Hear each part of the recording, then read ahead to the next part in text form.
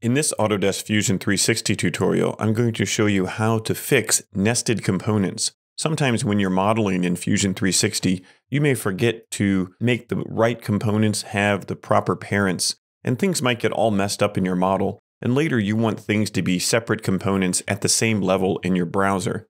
If you look at this model, it has a number of different components. It has, it has some bodies that are just at the top level.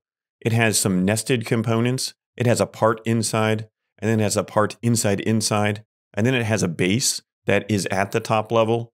Sometimes you do want to have assemblies like this, but most of the time, when you make mistakes like this, you just want your model to be organized correctly. Luckily, there's a simple way to fix this. It's always better to use rule number one in Fusion 360 and just make your components with the right parent from the beginning, but we can simply drag and drop our components in the browser. For example, this blue component, part inside inside, I can just drag it to the top level, and now it's in the top level. I can do the same thing with part inside, drag it to the top level, and notice nested components is no longer an assembly.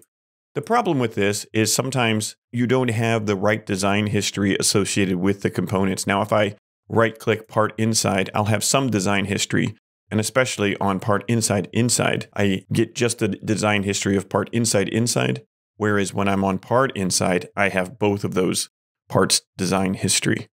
What about these bodies up at the top? We can fix those as well. We can just shift click the bodies, then right click, create components from bodies. Then these are now components too. And as you can see, when I go to the top level, instead of both of those bodies being pink, they now have their own colors in the component color cycling. So this way you can reorganize your model in the way you want and create components that are all at the same level. And if these components here should have been inside the base, we can simply drag them inside the base, and that creates an assembly that way.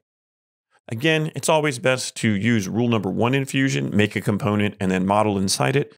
But especially when we're creating new prototypes or designs we've never made before, we don't know exactly the best way to put it together.